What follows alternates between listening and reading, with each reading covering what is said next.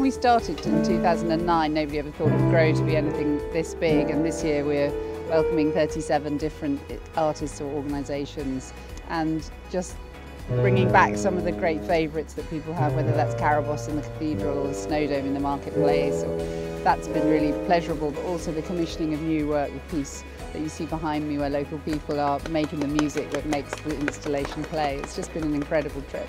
I think bizarrely one of the highlights is the thousands of people walking around the streets of Durham, you know, wrapped up. Uh, many umbrellas, I think umbrella sales will reach a new peak in Durham, you know, braving the, the elements but enjoying the, the festival. I think it's a, a real credit to uh, the people who've, who've actually attended the festival but also the organisation, the staff, the stewards, the police, the fire service, everybody involved um, through getting through those four days without actually having to cancel anything. Remarkable achievement. Mainly it's gone, it's gone well. Um, despite the weather, I think everyone's really enjoyed it. I think it's been superb.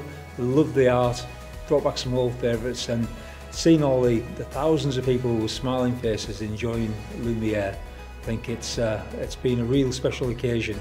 It's been a really wet special occasion. I think it's been really good. I've never been before, so this is really amazing.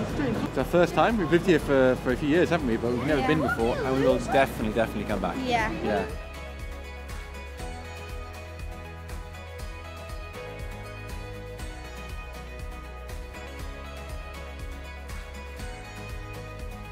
My name is Maisara. Uh, I come from Syria.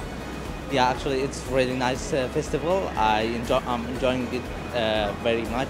It's really nice, and uh, I like to come here with my friends. It's really good.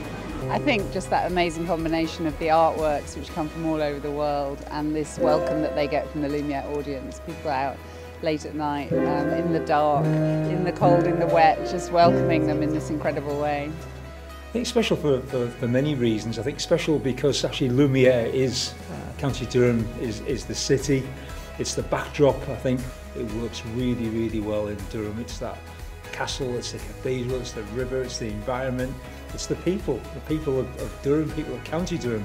We're, we're so lucky to have uh, Lumiere here in, in County Durham, but actually Lumiere so lucky to have its home here as well. It's just a perfect partnership. It works really well. And anybody visiting the festival, you know, many people have from all over the world, see what's magical, not only about Lumiere, but what's magical about our county.